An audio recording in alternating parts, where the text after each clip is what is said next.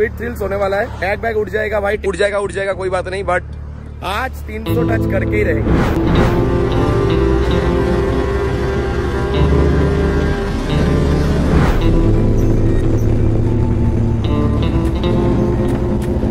अभी है।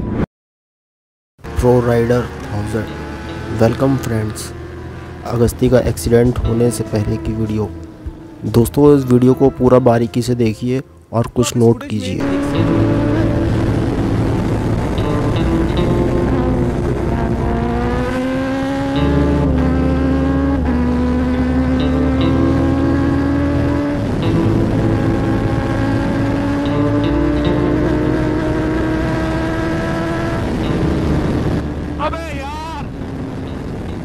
बहुत आ रहा है।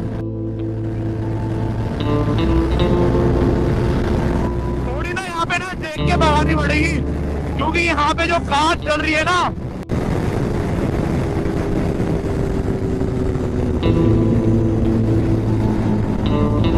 अभी है। तो मैं क्या कह रहा था, यहाँ पे ना देख के चलानी पड़ेगी, क्योंकि यहाँ पे जो कार चल रही है ना, वो भयंकर बिना इंडिकेटर दिए राइट लेफ़्ट हो जाती है। तो थोड़ा देख के चलना पड़ेगा बहुत ज़्यादा। थोड़ा सा लेफ़्ट होकर चलेंगे, बीच में नहीं चलेंगे। अगर वहाँ पे कार है ना, और यहाँ पे मैं हूँ तो 200 मीटर पहले ब्रेकिंग अप्लाई करेंगे। ताकि फुल सेफ्टी रहे।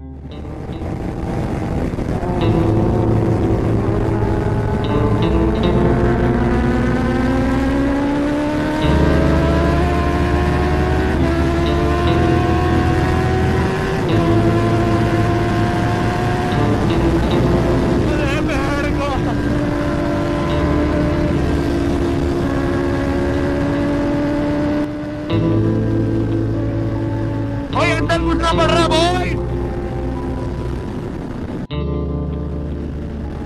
भाई अगर मैं बाहर मुँह निकाल रहा हूँ ना तो उन लोगों को पीछे तो अंदर घुसना पड़ रहा है।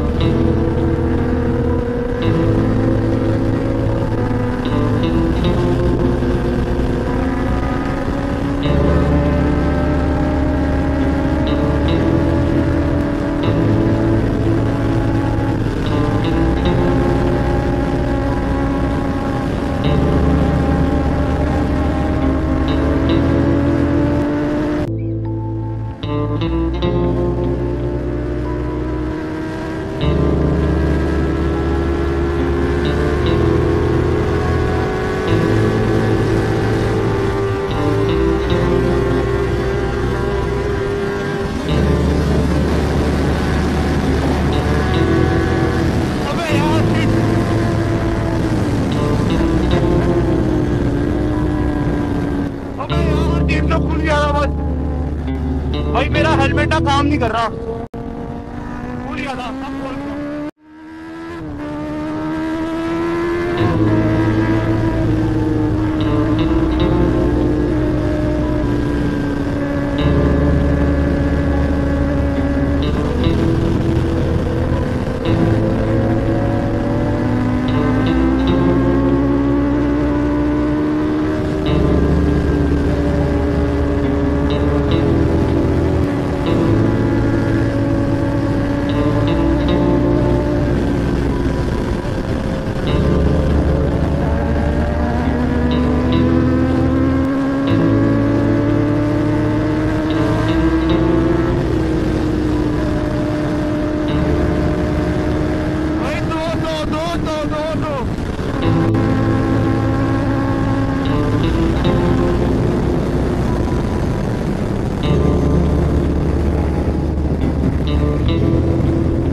हेलमेट दो का दे रहा।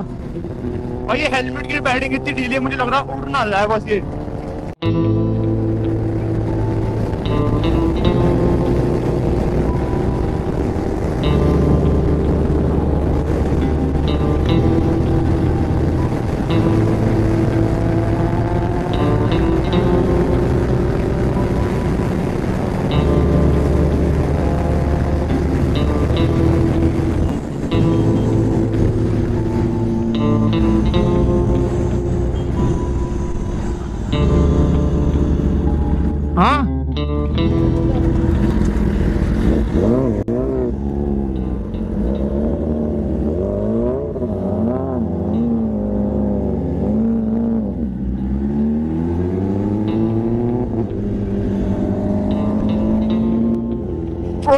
यहाँ से यूटर्न मार रहे हैं।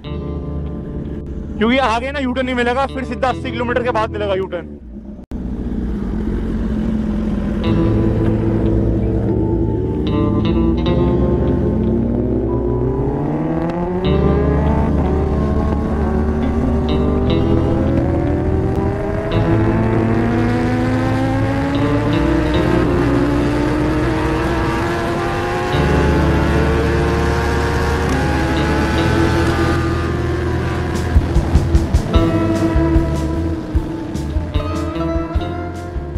थाना टप्पल क्षेत्र में एक सूचना प्राप्त हुई कि एक युवक का एक्सीडेंट से यमुना एक्सप्रेसवे पर डेथ हो गई है और इस संबंध को, इस सूचना को गंभीरता से लेते हुए छानबीन की गई। तो पाया गया कि यह युवक देहरादून का रहने वाला अगस्त चौहान है, जो कि वीडियो लॉगिंग करता है और अक्सर 300 प्लस की स्पीड को हिट करने का टारगेट अपने वीडियो में दर्शाता है, जिसको लोग जो है रोचक रूप से इंटरेस्ट लेते हुए उन वीडियोस को देखते हैं। इस संबंध में यह भी पता चला कि इनके द्वारा एक वीडियो बॉडी वॉन कैमरा पहना गया था, जिसको अथक प्रयास से पुलिस द्वारा आसपास छानबीन करके निकाला गया है।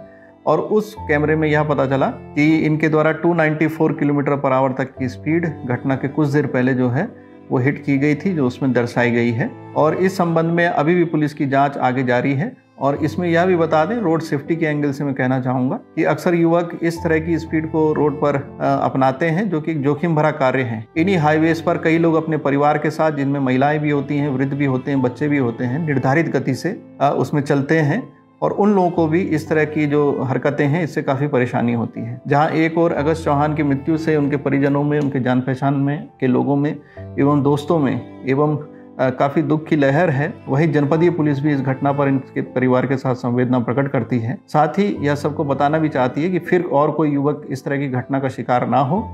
इस तरह की असामयिक मृत्यु, जो कि काफ़ी दुख का कारण परिजनों के लिए बन सकती है, ऐसी कोई भी घटना ना हो। इसके लिए सभी को सचेत रहने के लिए हम लोग आह्वान करते हैं और साथ ही ये चाहते हैं कि निर्धारित स्पीड पर ही बाइकर्स और राइडर्स जो हैं अपनी मोटरसाइकिल इस तरह के हाईवेज पर जो हैं, वहाँ पर स्टंट ना करें और नियमों का पालन